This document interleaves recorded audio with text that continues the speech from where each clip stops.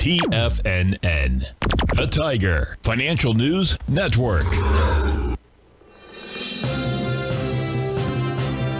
TFNN. Headline News Update.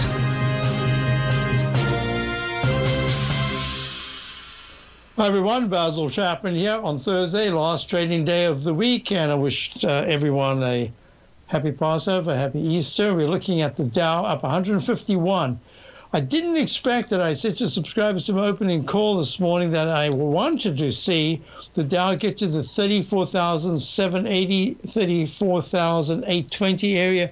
It went all the way to 34,889.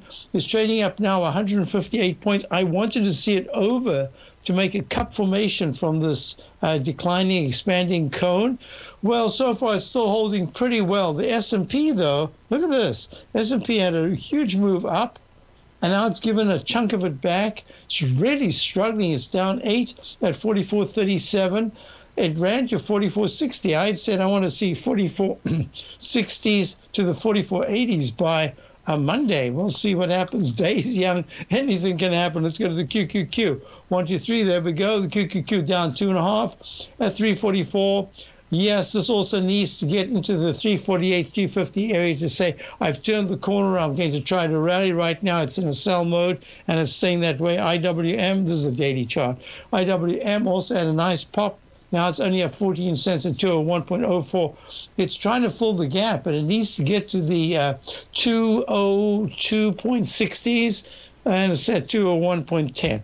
Gold is going to be very important right now to look at because gold broke out just from that trading range, gone back into the trading now, the trading range down 18. It's like Fridays. Well, this is a Thursday, like a Friday, where gold often pulls back. 1965, still doing really well. MACD is good. Stochastics at 84%. So it's in the upper range. We're looking at um, crude oil what is crude oil doing? Crude oil is down a little bit at 103, but it's holding quite well. It's basically in a trading range between 107 and 99. We're looking at the TLT. This is terrible. I think that's why the market suddenly pulled back.